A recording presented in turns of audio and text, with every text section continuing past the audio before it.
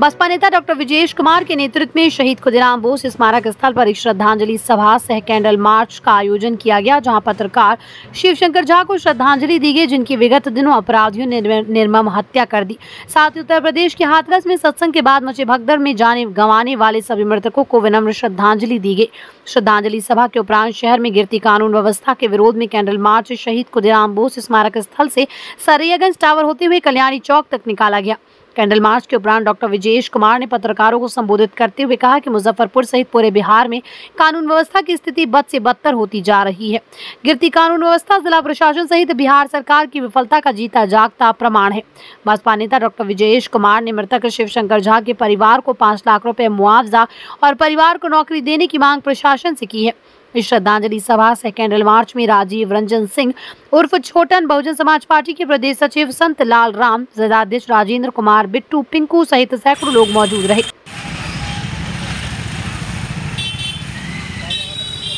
Candle march निकाला जा रहा है क्या कुछ कहेंगे? आज हम लोग यहाँ खुद्दीराम बोस स्मारक स्थल से कैंडल मार्च निकाल रहे हैं ये मौन जुलूस है। और इससे ये समाज को बताना है कि हम लोग अभी भी तत्पर है समाज के लिए। और ये कानून व्यवस्था का जो स्थिति है, ये एकदम लचर से भी लचर स्थिति है। आज एक जगह कोई बिजनेसमैन एक जगह दूसरे जगह नहीं जा पाता है। कहीं किसी का कोई सेफ्टी नहीं है। हर जगह कानून का समझिए कि धज्जी उड़ रहा है तो हम लोग डीएम से ही मिलकर ये बात को रखेंगे।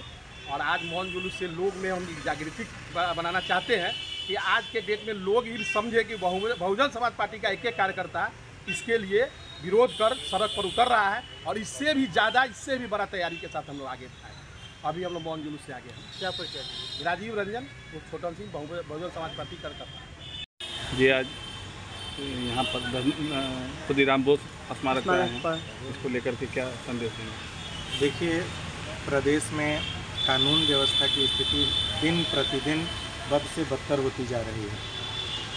आए दिन कहीं आप देखेंगे कि गोली चल रही है कहीं किसी की हत्या हो जा रही है कहीं अपहरण हो रहा है कहीं छिनतई की घटना हो रही है, कहीं लूट की घटना हो रही है, इस सब के विरोध में।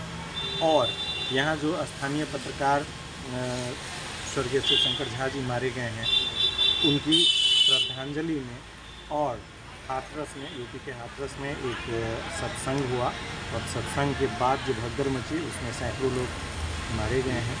उनकी श्रद्धांजलि हम लोगों ने एक मिनट का मौन रखा और हम लोगों ने अपनी श्रद्धांजलि अर्पित की है।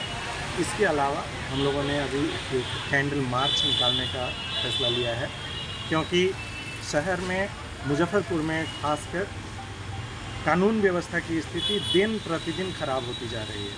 अभी आपने देखा कि हमारे जो आपके साथी थे शिवशंकर झा जी, आप उनके बीच के लोग थे, पत्रकार महोदय, पत्रकार जो चौथा स्तंभ माना जाता है, वह भी सुरक्षित नहीं बताइए एक पत्रकार की हत्या हो जाना एक कोई साधारण घटना नहीं और एक बार और बता दूँ कि पत्रकार कोई छोटा बड़ा नहीं होता। चाहे वो प्रिंट मीडिया के हों, चाहे इलेक्ट्रॉनिक मीडिया के हों, या चाहे यूट्यूबर हों, सब लोग अपनी अपनी जगह अपने अपने स्तर से देश की सेवा में लगे हुए हैं।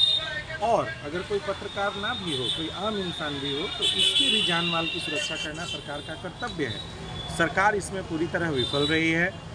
गोली की चलने की घटना भी, उस दिन जिस दिन यह दुर्घटना हुई है, उस दिन तीन घटना हुई। सुबह में एक महिला को गोली मार दी गई, दोपहर में भी गोली चली और शाम में जघन्य अपराध हुआ। है ये, इसको हम दुर्घटना नहीं, ये सोची समझी साजिश के तहत हुआ था और गला रेत कर किसी की हत्या कर देना, ये निर्दयता की हद है। इससे मानवता शर्मसार हुई है। इसके विरोध में हम लोगों ने कैंडल मार्च निकालने का फैसला किया है अभी हम लोगों ने श्रद्धा सुमन अर्पित किया है श्रद्धांजलि दी है और अब हम लोग कैंडल मार्च निकालेंगे जो यहाँ से सरियागंज टावर होते हुए कल्याणी चौक पर उसका समर्थन। डॉक्टर विजयेश कुमार बहुजन समाज पार्टी का एक